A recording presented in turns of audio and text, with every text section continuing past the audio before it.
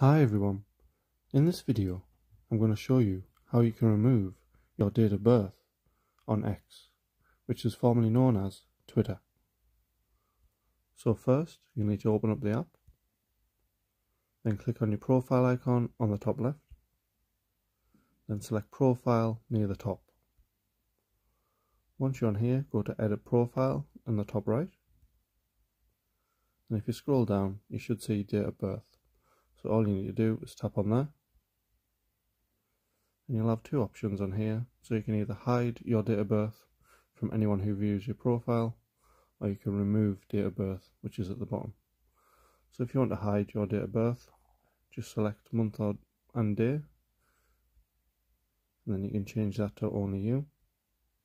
And the same for year. Just change that to only you. Then you'll need to select continue in the top right hand side and then save on the top right hand side and just select confirm.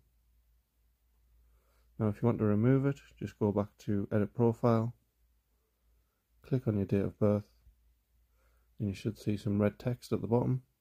Just select that, and then just select remove. So once you go, and then you press save on the top right. So once you go back on your profile, it won't dis display your date of birth and it will be completely removed. So that's how you can remove your date of birth on X. Thanks for watching.